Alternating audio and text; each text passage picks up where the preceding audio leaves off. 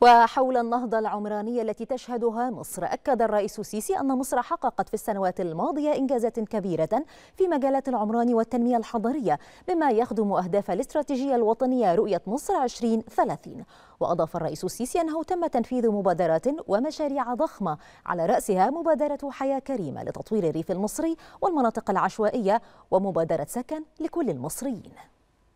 رغم ما يحيط بنا من أزمات حققت مصر في السنوات الماضية إنجازات كبيرة. في مجالات العمران والتنمية الحضرية بما يخدم أهداف الاستراتيجية الوطنية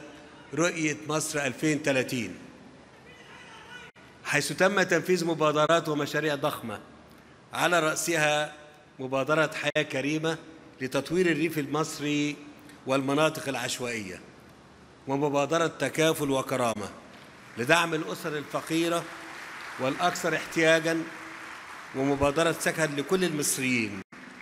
التي تعد أكبر مشروع إسكان اجتماعي موجه لمحدود الدخل في مصر والعالم بأسره.